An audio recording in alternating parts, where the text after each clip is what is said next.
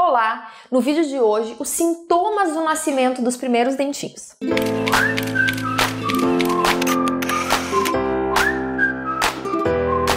Uma dúvida que muitas mães têm é: como é que saber, afinal, que o dente do meu filho tá nascendo? Nunca tive filho, não sei como acontece, como é que eu vou saber? Meu filho tá mais irritado, tá mais bravo, será que é dente? Então, no vídeo de hoje, eu vou dar algumas dicas que vão te ajudar a identificar quando os dentinhos estão aí para nascer. Mas antes de mais nada, eu vou falar quando que normalmente os dentes começam a nascer. E eu digo normalmente porque não acontece para todas as crianças. Algumas os dentes nascem antes, outras os dentes nascem depois. Mas normalmente os dentes começam a aparecer aí por 6 ou 7 ou 8 meses de idade. Mas isso não é regra, como eu disse. Por exemplo, o Léo, meu filho mais velho, teve o primeiro dentinho com 10 meses. O filho de uma amiga teve o primeiro dentinho com 4. E aí já aproveito e pergunto: se você já tem algum filho, tem um sobrinho, alguma criança que você conheça, com que idade teve o primeiro dentinho? Você sabe me dizer? Comente aqui que eu quero saber e a gente vai ter uma ideia mesmo se essa idade aproximada que eu falei para você está certa ou não. Tá? E os últimos dentes, né? Quando é que vão nascer? Já que a gente falou aí dos primeiros, quando nascem os últimos molares, que são aqueles dentes que ficam lá no fim da boca, né? Lá atrás. Normalmente eles costumam nascer até os dois anos de idade. Mas como eu disse, algumas crianças podem nascer bem depois também, porque não é uma regra. Cada criança funciona de um jeito. A verdade é que aos 3 anos, né, seu filho já deve estar com a arcada dele dentária completa, né? Então ele deve ter em torno de 20 dentes de leite já na boca até os 3 anos de idade. Mas afinal, quais são as reações que o bebê pode ter, né, nesse período que podem te ajudar a identificar que ele tá aí com o dentinho nascendo? Primeiro, uma maior salivação. O bebê começa a produzir muita saliva e babar muito. Ele não era um bebê que babava de uma hora para outra, ele começa a babar, pode ser dentinho nascendo. Outra dica também super tradicional, né? Que todos os pediatras, mãe, avós, amigas que já tiveram filhos mandam a gente observar e que realmente funciona é ver se a gengiva tá inchada. Você vai, abre na boquinha do bebê, olha, ah, aqui tá mais inchadinho, coloca o dedo, aperta, o bebê dá uma reclamadinha, pode ser dente.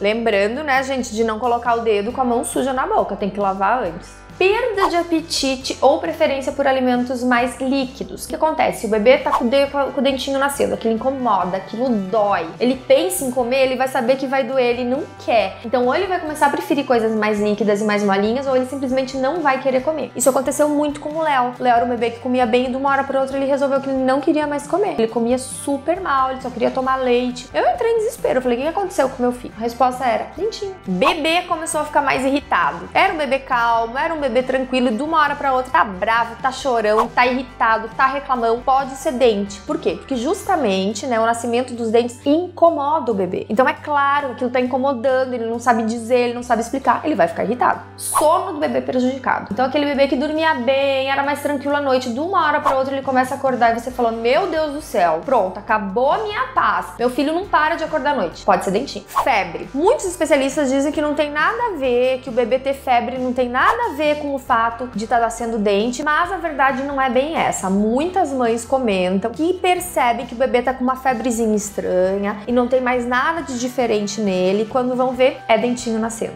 Mesma coisa diarreia, acontece também a mesma coisa. Os pediatras normalmente dizem que não tem nada a ver nem a febre nem a diarreia com o nascimento dos dentes, mas muitos bebês sim, né, tendem a ter uma diarreia, né, um cocô mais mole no período em que o dentinho tá nascendo. E até existe alguma explicação para isso, você sabia? Bom, primeiro é que, como tá incomodando muito a boca, muitos deles pegam o objeto do chão, pegam qualquer coisa, colocam na boca, né, para morder, para coçar, para parar de incomodar. E isso faz o quê? Faz com que bactéria, sujeira entre e causa uma dor de barriga. Outra explicação é o quê? Que justamente, né, está havendo uma mudança interna, né, do organismo do bebê para se preparar para receber alimentos, porque os dentinhos estão nascendo, então ele vai receber alimentos diferentes do que ele está acostumado, ele vai poder comer outras coisas. O organismo já vai se preparando, né? Vai produzindo substâncias que ajudam a dissolver melhor esses novos alimentos. E aí isso faz com que uma diarreia aí comece a surgir. Então, na verdade, é todo o corpo se preparando. Mas isso tudo são teorias, não é nada comprovado. O que a gente sabe é que muitas mães relatam: bebê tá tendo dentinho, diarreia vem por aí. Outra coisa que também identifica bem o nascimento do dente. O bebê começa a puxar a orelha, começa a colocar o dedinho na orelha, no ouvido, começa a mexer nessa área, a gente fica, meu Deus, é otite. Não tem nada a ver, na verdade é o nascimento do dente que pode ter uma irradiação, né? E ele acaba sentindo a dor aqui em cima. E aí, né, gente, tem bebês que são abençoados e pais que são mais abençoados ainda, ou seja, o bebê não sente nada. Você nem percebe, quando você vê, Ele abre a boca, tem um dentão lá. Então não teve nenhuma reação, nenhuma dor, nenhuma febre, nenhuma diarreia, não dormiu pior, nada, tá tudo bem e o dente nasceu. Isso é ótimo. Tem alguns bebês que são assim, que não apresentam nenhum sintoma e o dentinho tá chegando. Mas na verdade, todos os demais costumam sim apresentar, né, esses incômodos durante o nascimento do dente. Mas afinal, o que fazer para amenizar o desconforto do nascimento dos dentes? Antes de mais nada, eu quero dar uma dica para vocês. Eu tenho um vídeo aqui bem completo falando de todas as dicas que vocês podem, né, fazer para amenizar o desconforto conforto dos dentes. Esse vídeo já tá aqui no canal, é só clicar e assistir. Mas mesmo assim eu vou dar umas dicas aqui rapidinhas e aí vou deixar vocês curiosas e vocês vão lá assistir o outro. Dica 1, simples, dá mordedor pro bebê. Se o mordedor tiver gelado, inclusive pode ser até melhor, porque o gelado faz com que amorteça um pouquinho a gengiva e aí dói menos. Outra dica, o dentinho tá quase rompendo, tá ali abrindo a gengiva e aí o bebê não quer de jeito nenhum que encoste nada ali. Isso inclusive significa ele não quer comer, né? Ele não quer botar alimento na boca. Acho que nesse caso o importante é também respeitar. Porque se a gente tentar